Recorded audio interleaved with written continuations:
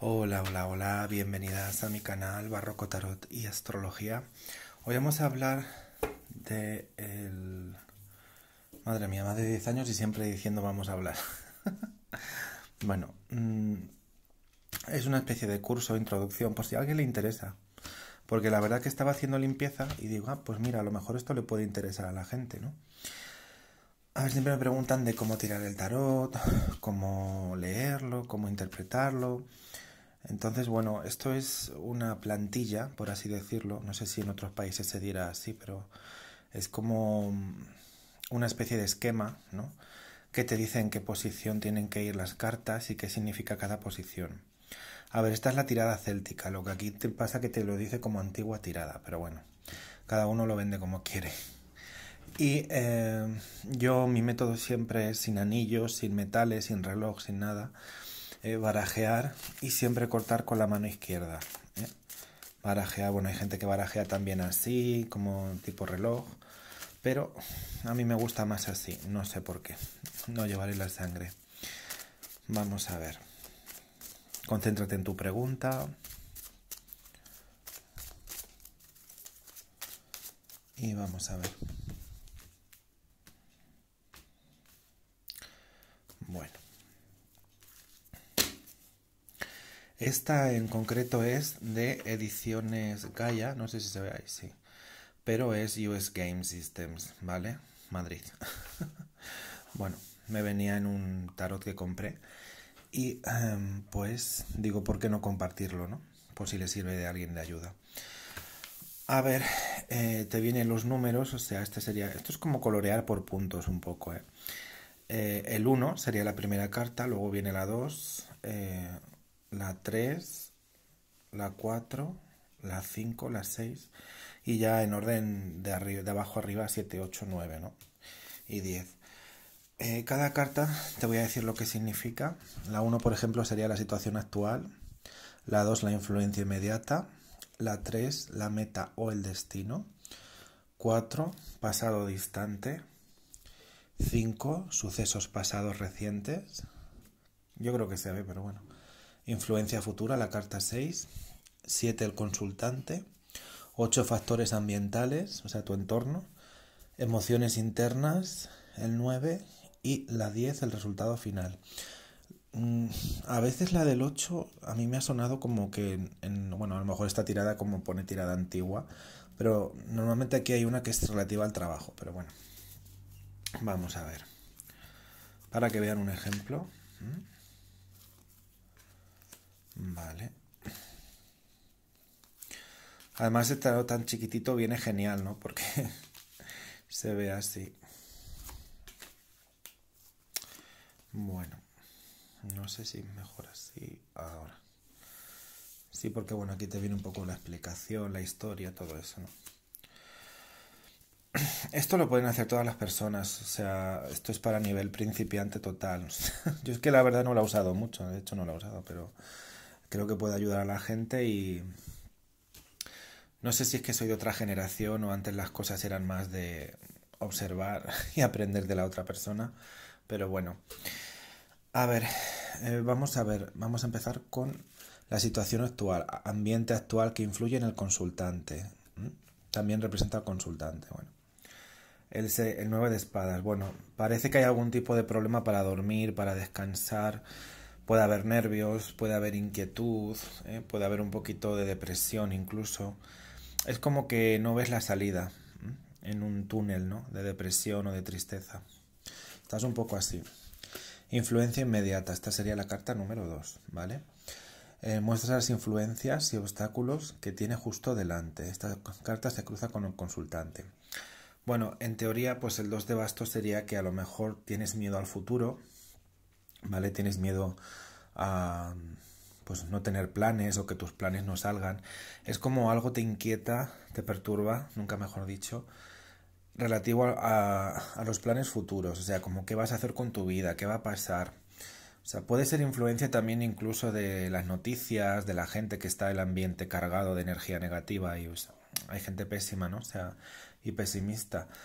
Entonces puede ser que tengas ahora mismo un miedo tremendo, inquietud, nervios, ¿eh? eh, por lo que es tu futuro, por tus planes, por qué va a ser de ti. Luego tenemos la carta número 3, perdón. meta o destino. O sea, tu destino es la libertad, el sentirte libre. Muestra la meta o destino fundamental del consultante, así como también sus ideal, ideales del presente. Puede conseguirse basándose en las circunstancias existentes. Bueno, tu meta es ser libre, no tener, no tener responsabilidades en el sentido de saber siempre qué hacer o saber eh, llevar lo que son las cargas de la vida, ¿no? O sea, lo que te habla es de un sentimiento de libertad, de aventura, de salir, de viajes, de vivir el presente. Creo que necesitarías un poco relajarte o algún tipo de... bueno, salir un poco de donde estás. Pasado distante. Carta número 4. Muestra los sucesos e influencias que existían en el pasado y que son el fundamento de los sucesos actuales. Vale, están encarnadas dentro del consultante. Pues está clarísimo que tienes un bloqueo, algo que te pasó y no superas, algo que puede ser pues desde una ruptura amorosa hasta un despido del trabajo o la pérdida de alguien. Entonces está clarísimo que es algo que no sueltas, ¿eh? algo que te, pues por lo que sea, te marcó y no, no lo superas. La carta 5, sucesos pasados recientes, indica lo ocurrido recientemente. Esto puede ser una caída de dinero, puede ser que haya una pérdida, puede ser que alguien que te ayudaba pues ya no te ayuda. En este caso me habla de mujeres. Podría ser madres, amigas, tú misma, tu hermana, tu no sé, tu jefa. Aquí puede ser que hay algo que no, no fluye tanto como antes a nivel de dinero. A nivel de trabajo es algo yo creo que esta tirada es más de trabajo, porque me está saliendo todo mucho bastos y dinero, o sea, y oros. Carta 6. Influencia futura. Representan lo que va a ocurrir en un futuro próximo. Bueno, pues quizás algo que tenías planeado no va a salir tanto como tú querías, en el sentido de, a lo mejor tenías un plan de promoción, de un trabajo mejor, algo que tú tenías pensado, pues quizá no te salga como tú esperabas. Pero dentro de lo que cabe, es todo trabajo, lo que me está diciendo es trabajo. ¿eh? Carta 7, el consultante. Esta carta para el consultante la perspectiva adecuada, su actitud presente. Bueno, eh, puede ser que en un futuro quisieras viajar o tienes una necesidad de viajar, de moverte, pero por lo que sea no, no, salen. Aquí hay un bloqueo eh, de que no salen las cosas o de que no salen, como que no va para adelante. No sé si te han hecho algo no veo brujería, pero veo que a lo mejor tienes bloqueos y te quedas ahí estancado. Esto podría ser perfectamente para alguien de tierra. Carta número 8, factores ambientales. Quizá esto es la salud de tu padre, cómo le influyen otras personas y también factores que pueden afectarle.